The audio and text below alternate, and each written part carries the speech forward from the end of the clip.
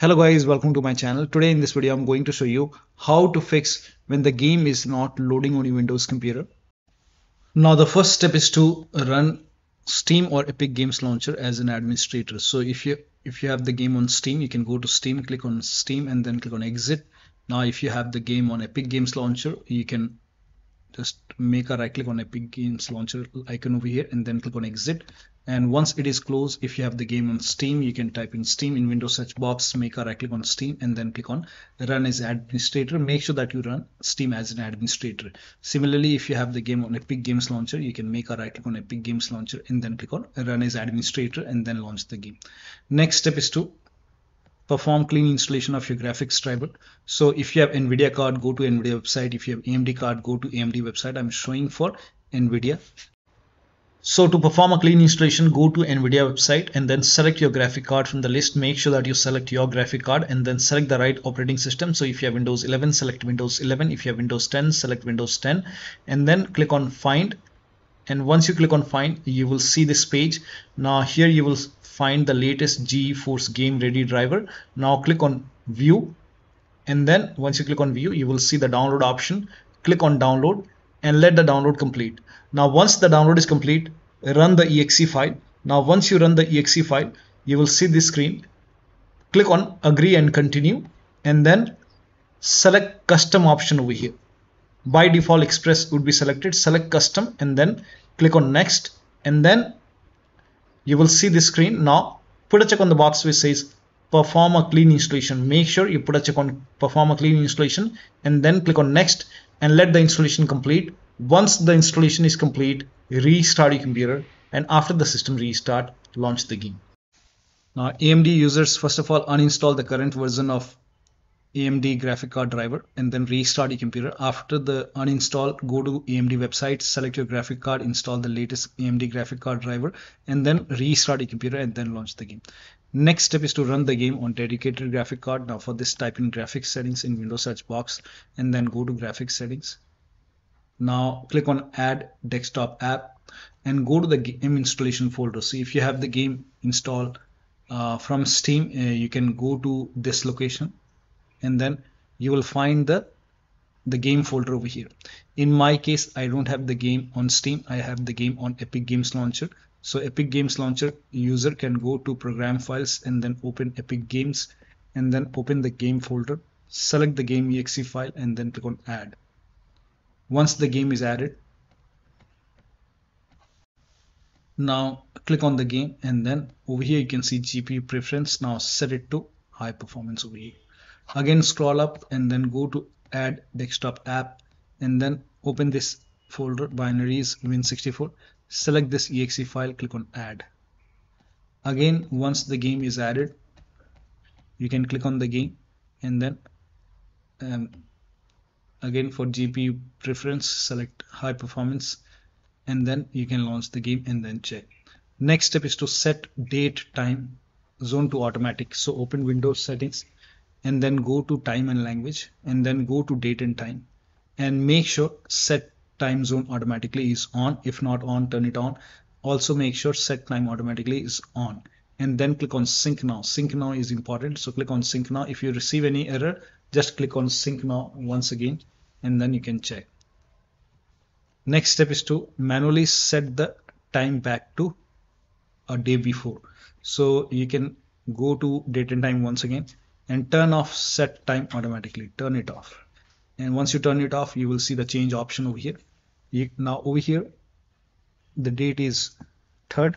So I will set it to second a day before and then hit on this tick icon and then click on change. And now you can launch the game and then check. Once the game is up and running once the the game is on menu screen now you can turn it on you can turn on set time automatically and then check. Next step is to add the game exe file all the game exe file to antivirus program. So if you have any third-party antivirus like avast or norton bitdefender mcafee whichever antivirus program you have allow, allow the game exe file all the game exe file to antivirus program. Now if you're using windows security open windows settings go to privacy and security. If you have windows 11 in windows 10 you will have an option update and security then click on windows security now click on virus and threat protection. Scroll down. At the bottom you will see manage ransomware protection. Click on it. Now click on allow an app through control folder access. Click on yes to allow and then click on add an allowed app. Click on browser apps. Now go to the game installation folder and then open the game folder game folder. Select all the game exe file. Again click on add and allowed app browser apps. Select this exe file. Click on open. Again click on add and allowed app browser apps and then open this hll folder binaries win64 select this exe file click on open. Again click on add and allowed app click on browse all apps and then go back and then open the easy anti-cheat folder. Select this exe file click on open. Do the same thing in control panel so type in control panel and then go to system and security windows defender firewall. Click on allow an app or feature through windows defender firewall. Click on change settings click on allow another app click on browse in my case i've already added so if not added um, select all the exe file again over here open add I have already added again click on allow another app click on browse and then select this exe file click on open then click on add again click on allow another app click on browse and then open this folder binaries win64 select this exe file click on open and then click on add I have already added. Again click on allow another app click on browse and then go back and then open easy anti-cheat folder. Select this exe file click on open and then click on add. Once everything is added now you can launch the game and then check. Next step is to verify the game files. Now if you have the game on steam you can go to steam make a right click on the game select properties go to installed files tab. You will see installed files tab and then click on verify integrity of game files. So for example i'm showing with different game go to properties install files and then click on verify the game files and once the verification is 100% complete launch the game if you have the game on Epic Games Launcher, click on this three dot and then click on manage and then you will see the verify option. Click on verify. After the verification, launch the game. Next step is to close Razer software. So if you have any kind of Razer software running, close it. If you have Voicemeeter uh, running, you can close it or you can even disable it in Device Manager. Now, next step is to go to the game installation folder and launch. Um, go to this location and delete this PA ks folder and then verify the game files. Now for this you can go to the game installation folder. So wherever the game is installed go to the game for steam user program file 686 and then open the steam folder steam apps folder open the common folder. You will see the game folder open the game folder. In my case i have the game on epic games launcher so you can open program files epic games open the game folder open hll folder open content folder. Now over here you can see paks folder you can make a right click and you can delete. If you want to create a backup you can just copy the content copy this folder paste it to the desktop. Once you have a backup you can make a right click and you can delete it. Once this is deleted now you can go to steam and then make a right click on the game and then go to properties go to install files and then click on verify integrity of game files. Let the verification complete. If you have the game on epic games launcher click on these three dots and then click on manage and then click on verify. After the verification launch the game. Next step is to type in percentage local app data percentage in the run box. Paste it over here. Click on ok and delete all the hll folder so here you can see hll make a right click and then delete this folder once it is deleted now you can launch the game Next step is to run this command. These commands are provided in the video description. Type in CMD in Windows search box, make a right click on command prompt app and then click on run as administrator. Make sure that you open command prompt as an administrator. Click on yes to allow. Copy all these commands one by one and then run this command. So paste it over here, hit the enter key. Now run the second command. Paste it, hit the enter key. Now run the third command. Now copy this fourth command. And then paste it over here. Hit the enter key. Now run this last command. Hit the enter key. Then restart the computer just restart the computer once and after the system restart you can launch the game. Next step is to run the game as an administrator from the game installation folder. Now for this you can go to steam uh, make a right click on the game manage and then click on browse local files. It will take you to the game installation folder. If you have the game on epic games launcher click on three dots manage and then you can click on this folder icon and this will take you to the game installation folder. Just make a right click on the game and then click on run as administrator from here. If that does not work you can even try this exe file make a right click and then click on run as administrator and then check. If that does not work open hll folder binaries win64 and then make a right click on this exe file and then click on run as administrator. Still not working then make a right click and then go to properties and then go to this tab put a check over here and then hit apply click on OK, launch the game and then check if that does not work. Put a check over here, select Windows 8, hit apply, click on OK, launch the game and then check. If that does not work, select Windows 7 over here, hit apply, click on OK, launch the game and then check. Still not working, put a check on disable full screen optimization, hit apply, click on OK and then launch the game and then check.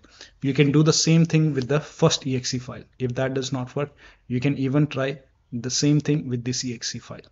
Now, when you put a check on all these boxes, still not working in that case you can uncheck these boxes. Just if it's not working uncheck this these boxes hit apply click on ok and then follow the next step. Now the next step is to update windows to the latest version. This is important. So open windows settings go to windows update or update in security and then click on check for update once all the updates are installed over here then restart computer and after the system restart launch the game and then check. This is important. Now the next step is to try dx11 or dx12 in launch option. Now for steam users you can go to steam make a right click on the game select properties. In the launch option you can type in dash dx11 and then you can launch the game and then check. So close this launch the game and then check. If that does not work then go to properties once again. This time type in dash dx12 and then you can launch the game and then check. Still not working you can remove this and then follow the next step. Now the next step is to increase the virtual memory. So to increase the virtual memory type in view advanced system settings in windows search box and then click on view advanced system settings and then click on the first settings and then go to advanced tab and then click on change over here and then select the drive. So uncheck the box which says automatically manage paging file size for all drives. Uncheck this box and select the drive where the game is installed. So select the drive and then once you select the right drive now put a check on custom size and for initial size it's 1.5 into total RAM. So you can check the total RAM in Windows settings. You can go to system and then go to about and total RAM in my case is 16 gigabyte. So you can calculate accordingly. In my case it's 16 GB so I will calculate as per 16 GB. So and first of all we have to convert 16 GB into megabyte.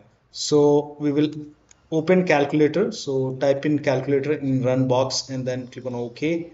And over here uh, it's 16 1.5 into total RAM. Total RAM in my case it's 16 RAM 16 GB.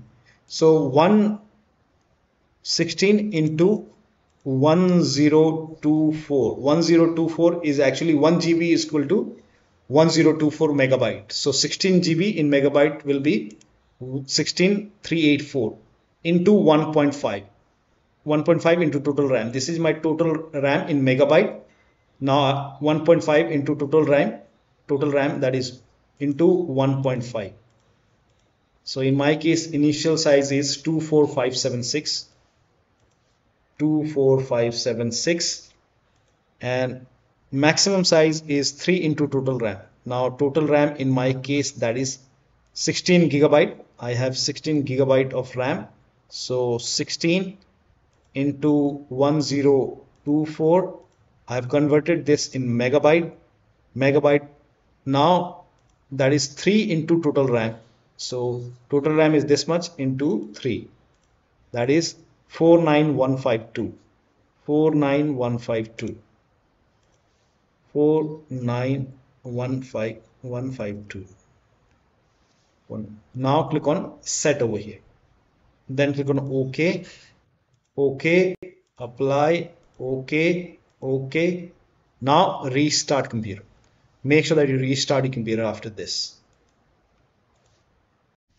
now the next step is to install Visual C++ file. For this, copy this link. The link is provided in the video description. Open this link in a browser. It will take you to Microsoft website. Scroll down. Here you can see Visual Studio 2015, 17, 19, and 22. Download this x86 and x64 version. So download this x86. Click on it. Click on it, and then you can run this exe file. And download this file as well, x64 and once the download is complete run both the exe file install it after the installation restart your computer and after the system restart launch the game and then check. Next step is to unplug all the external devices which you're not using. So if you have HOTAS, wheel, pedals, any kind of USB adapter connected to the computer disconnected which you're not using. Also disconnect additional controller sometimes we have extra controller connected disconnected. Disconnect multiple monitor try launching the game on single monitor. If you have any third-party services or application running close it. Also disable steam overlay. So for this you can go to steam make a right click on the game select properties and then over here I don't have the game on steam so I'll show you a different game. Make a right click on the game select properties and turn off this option which says enable the steam overlay while in game and then check. Also if you have discord running you can go to discord settings and then scroll down and then go to game overlay. Now over here if you have this uh, in-game overlay uh, on you can turn it off and then check. You can if that does not work you can even close discord quit discord and then check. Also if you're using like geforce experience overlay you can close geforce nvidia geforce experience. So you can or simply close all the overlay application and then launch the game also close all the overclocking application like if you have msi afterburner RivaTuner or any kind of overclocking application running you can close it and then check. Perform clean boot. Now for this type in system configuration in windows search box and then click on system configuration. Go to the services tab and then put a check on the box which says hide all microsoft services and then click on disable all. In my case this option is grayed out. I already did it. In your case this would be highlighted. So put a check on hide all microsoft services first and then click on disable all and then hit apply click on ok you will see a restart option restart your computer and then launch the game. Also if you have undervolted your computer remove the undervolt and then launch the game. Now the next step is to update system bios. So go to your system manufacturer website. So if you have a dell computer go to dell. If you have lenovo go to lenovo. So whichever computer you're using go to system manufacturer website select your model number and then find the latest bios update and then install it now in case of laptop, before you update the system BIOS, make sure battery is more than 10% and the AC adapter is connected to the computer. During the BIOS update, your system will restart. Do not unplug the power cable when it's updating the system BIOS. After the BIOS update, log into the computer and then launch the game. Last step is to uninstall and reinstall the game to different drives. So if nothing is working, uh, you can just make a right click on the game and then select manage, click on uninstall. Over here, you will see the uninstall option in uh, Epic Games Launcher. You can just click on uninstall. Now after the uninstall go to the game installation folder and then delete the game folder.